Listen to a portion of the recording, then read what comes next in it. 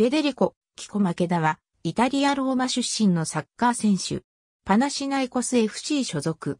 ポジションは FW。ローマで生まれ、地元のクラブである SS ラツィオで、サッカー選手としてのキャリアを始めるが、イタリアでは18歳以下の選手とは、プロ契約できないという規定があり、マケダは、クラブと契約を結んでいるわけではなかった。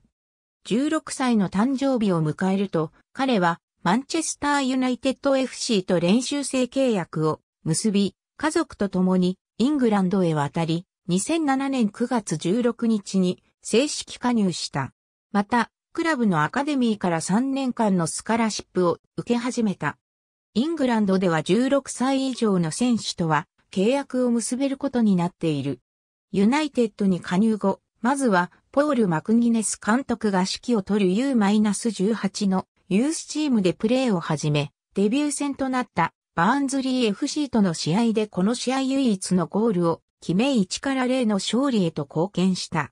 U-18 での最初のシーズンは21試合で12ゴールを挙げ、チームのトップスコアラーとなった。また、オーレグン・ナース・ウルシャール監督が指揮を取るリザーブチームでもプレーを始め、2008年2月26日に行われたリバプール FC 戦に後半23分からジェラール・ピケに代わり出場し、デビューを飾った。また、決勝には出場しなかったものの、マンチェスターシニアカップのタイトルを獲得している。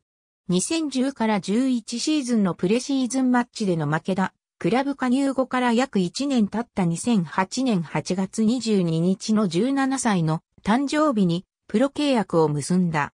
2008から09シーズンも U-18 のユースチームでプレーを続ける一方、出番は少ないながらも、リザーブチームの試合にも出場していた。シーズンの残りも少なくなってくる中、2009年3月30日に行われたニューカッスルユナイテッド FC との試合でのハットトリックを含め8試合で8ゴールを挙げる活躍をし、2009年4月5日に行われたアストンビラ FC 戦のメンバーに選ばれた。試合では1から2と負けている状況で何に代わり出場、クリスティアーノ・ロナウドが同点ゴールを挙げ、続いてインジュリータイムにライアン・ギグスのパスを受けた負けだが決勝点となるゴールを決めた。得点後はスタンドにいた父親と抱き合い、イエローカードを受けた。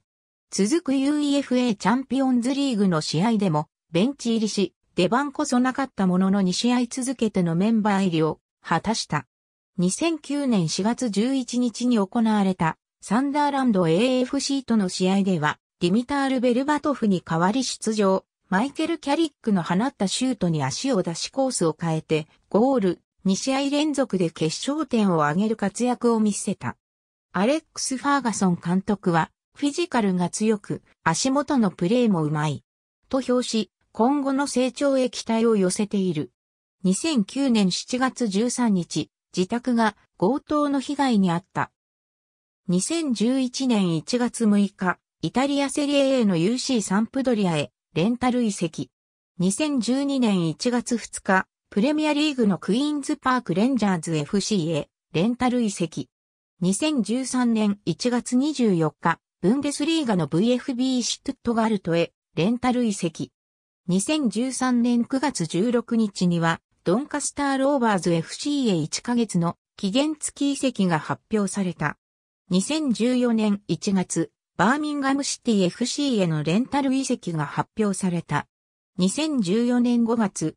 2016年3月15日、ノッティンガムフォレスト FC へのレンタル移籍が発表された。同年12月14日、セリエ B のノバーラカルチョへ加入し母国に復帰した。2018年9月3日、パナシナイコス FC と3年契約を結んだことが発表された。マンチェスター U。ありがとうございます。